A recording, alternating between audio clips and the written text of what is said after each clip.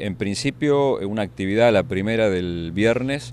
va a ser a la mañana, que esa está organizada por la Escuela Secundaria número 9, eh, complementariamente por el municipio de Trenquelauquen con la escuela, y nosotros adherimos, vamos a estar presentes allí, vamos a, participar con una reflexión dentro de lo que ha organizado la escuela, este, como lo que sería un, por primera vez el acto central del Día Nacional de la Memoria por la Verdad y la Justicia, eh, eh, digamos, tomado por el sistema educativo del distrito, que es lo que nosotros queríamos que, que empezara a pasar a partir de este año y por suerte la Escuela Secundaria 9 eh, se manifestó rápidamente con esa voluntad. Luego a la tarde, 17 y 30 horas, en la Plaza San Martín, ahí sí la comisión,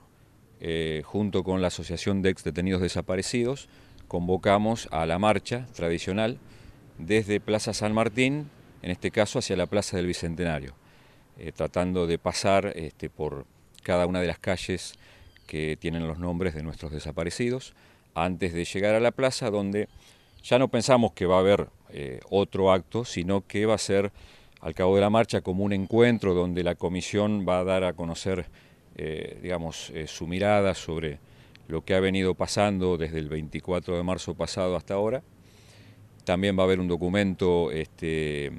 de la Asociación de Extenidos Desaparecidos que va a ser leído por la compañera Lidia Frank. Y bueno, y, siempre después abrimos el micrófono a quien quiera manifestarse en lo que va a ser un rato de encuentro ahí en la Plaza del Bicentenario. Y finalmente ese día, este, el SEARTE, eh, sabemos que siempre organiza Arte por la Memoria, al, cual también adherimos por supuesto. Eh, entiendo que va a ser a partir de las 21 o, 21 y 30, y no tengo el, dato preciso, pero como broche de oro ya para la, conmemoración de, ese día. Bueno, Pablo, un nuevo 24 que nos encuentra movilizándonos también acá en Trenquelauquen, ¿no?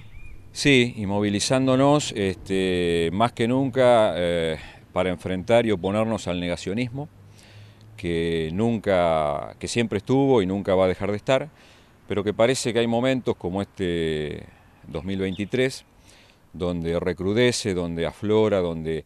eh, vemos que inclusive en un, año electoral, donde se van a definir entre agosto y, octubre o noviembre cosas tan importantes en nuestro país, hay eh, en los distintos niveles candidatos y candidatas negacionistas. Y, por lo tanto este año nosotros queremos hablar mucho del negacionismo, eh, definirlo, dejar claro qué es y, bueno, y, mostrar eh, que con el negacionismo quienes lo practican lo que quieren es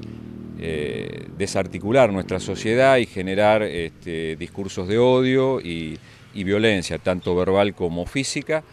Eh, nosotros estamos convencidos que con la búsqueda de verdad y justicia,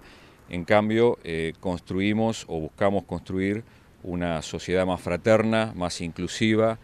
eh, donde los conflictos de intereses y las diferencias ideológicas puedan este, debatirse y puedan sintetizarse con soluciones que sean también pacíficas, este, alejadas del odio y de la violencia.